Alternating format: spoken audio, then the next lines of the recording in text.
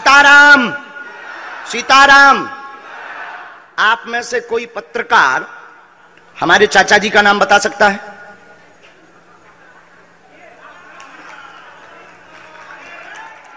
बोलिए बोलिए बोलिए। आप में से कोई पत्रकार हमारे बल्कि चाचा जी का नाम उस पर भी है, संस्कार टीवी पे, कोई बता सकता है? बोलो बोलो। वरना आज के बाद अंधविश्वासी कहना बंद कर देना। क्या बता सकते हो? अब आप पत्रकारों में जिनके चाचा का नाम भृगुनाथ तिवारी हो, वो आ जाए।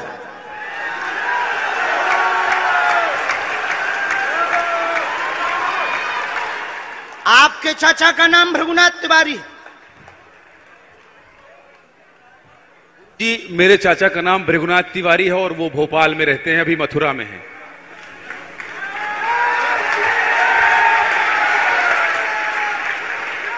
आज लेकिन हमने लास्ट अनुमति ली है अपने बालाजी से। क्या तुमने पहले बताया? लोगों को अंधविश्वास में तो नहीं ढकेल रहा महापाप पड़ेगा अगर तुमने बताया हो। गुरुजी मैं तीन दिन से बल्कि सच्चाई को एबीपी न्यूज़ में दिखा रहा हूँ मैंने कोई अंधविश्वास फैलाने का और बताने का काम नहीं किया है। मैं यहीं से आपके दरबार से जनता तो क्या तुम्हारे भाई का नाम राघवेंद्र तिवारी है?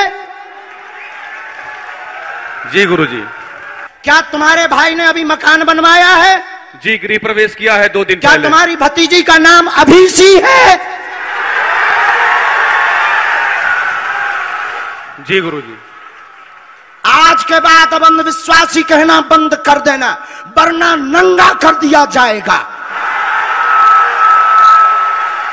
हम हनुमान जी के सेवक हैं, ललकार कर करते हैं कि हमने संतों की चरणों की तपस्या सीखी और सन्यासी बाबा की कृपा को पाया है।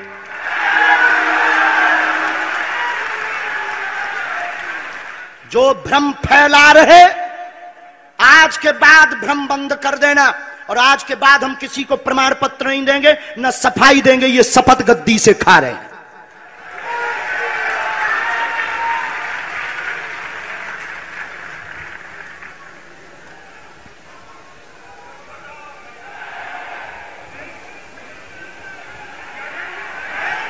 पूरे भारत को अंधविश्वास में धकेलने के लिए हाँ तो नहीं बोल रहे। जी बिल्कुल नहीं बिल्कुल नहीं।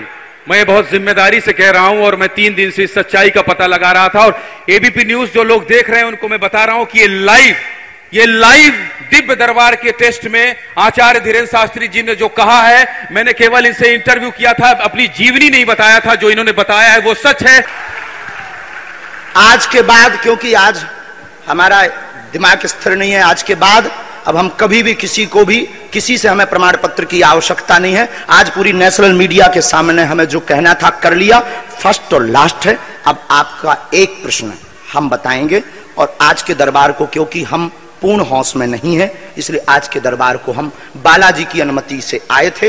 और आज के दरबार को हम इसी के साथ विराम करेंगे। कल चार घंटे दरबार लगाएँगे।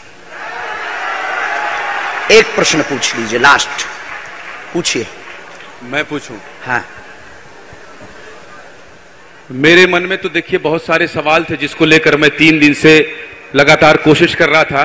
मैं इसी मीडिया में इसी पत्रकारिता क्षेत्र में और क्या कर सकता हूँ क्योंकि मैं देश और समाज के लिए सेवा करना चाहता हूँ इसी फ़ील्ड में रहकर उसको लेकर। पदोन्नति का प्रश्न है कृपा होगी पत्रकार में इस मंत्र का जाप करें आशीर्वाद है। और रुकिए। एक ये रखा है और आपका एक और रखा है।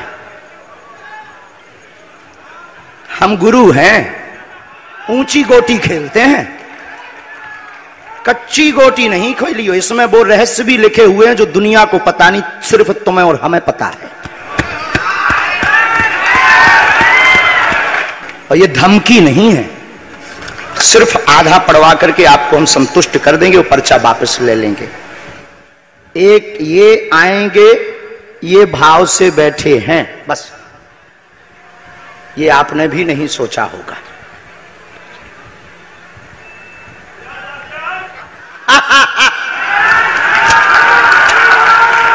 और ये हम पहले से गोटी रखे थे कि इस गोटी को भी हम मारेंगे।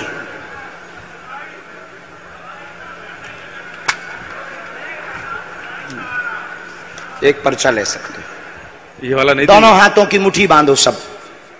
आज चूँकि हमें उतनी ज़्यादा शारीरिक हमें गुरुजी से आज्ञा लेनी पड़ी क्योंकि हमें कसौटी पर उतरना था तो गुरुजी से हमें आज्ञा लेनी पड़ी और हमारे गुरुजी ने सुबह साढ़े सात बजे कह दिया था बेटा जाओ झंडा गाड़ कर आओगे सनातन का।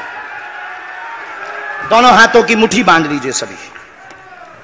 सामूहिक अर्जी हम लगा देते। कहो हे बागेश्वर धाम प्रभु हे बालाजी महाराज हे सन्यासी बाबा, हे कलयुग के राजा, हम पर कृपा करो, हम पर दया करो, हमारी अर्जी सुनो। हे बागेश्वर बालाजी, आजीवन पर्यंत आपके चरणों से, आपके धाम से हम जुड़े रहेंगे, हम आते रहेंगे, परंतु हम पर कृपा करो। आपकी जय हो। आपकी जय हो, आपकी जय हो। जिनकी अर्जी नहीं लग पाई, आज चूँकि हमें बहुत खेद है कि तुम लोग पाँच घंटे से बैठे और पर्चा ज़्यादा नहीं बन पाए, लेकिन आज सनातन को चुनौती थी और हम सनातन को झुकने नहीं देंगे। बोलो